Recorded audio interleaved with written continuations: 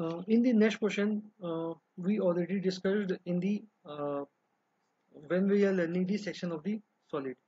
Okay, the same example problem I am taking now. On the, the only part which are which is remaining is the development part.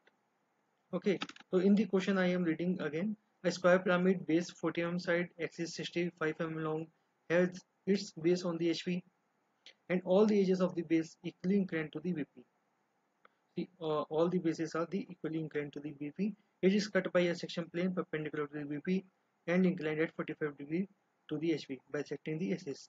Draw its section top view, side view, true shape of the section and draw its development of the uh, development part.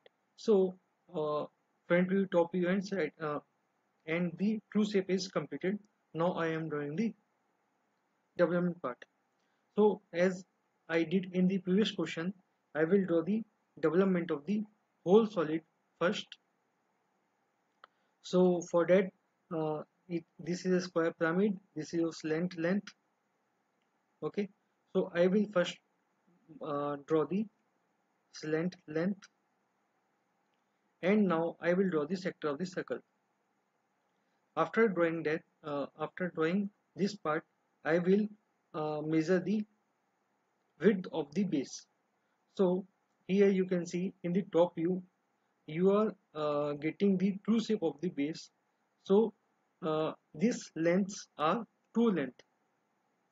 But in the uh, front view AB, AD and CB and CD this is now showing the true shape of the base because this line AB uh, sorry AD, AB, CD and CB are inclined to the XY line and whenever any line is inclined to the any plane at that plane uh, if you draw the position of the line you will not get the true shape.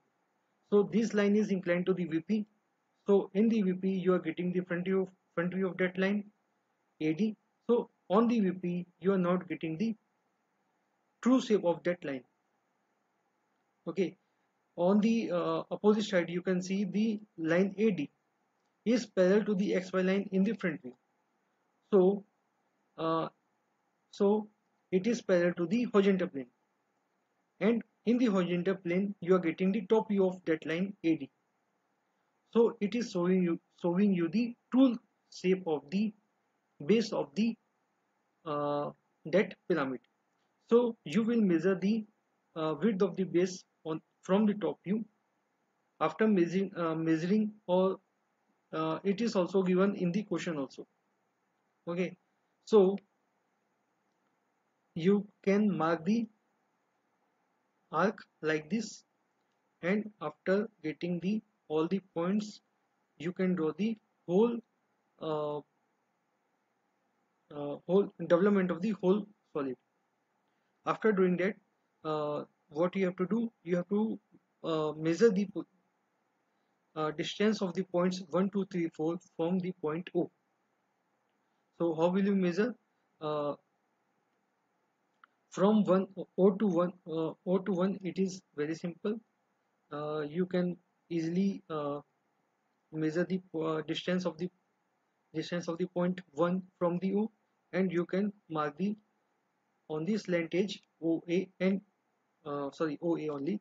So but uh, these two points 2 and 4 okay how will you measure the distance of the point 2 and 4 from the O?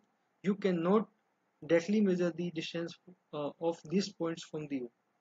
Because this slant edge OB and OD is not the true slant edge how you can see here OD and OB is perpendicular to the XY line so uh, means perpendicular to the VP so in the VP means front view of that line will not show you the true shape of that slant edge so how will you measure the uh, distance of point 2 and 4 from the O from uh, these two points you have to uh, mark it on the true slant edge.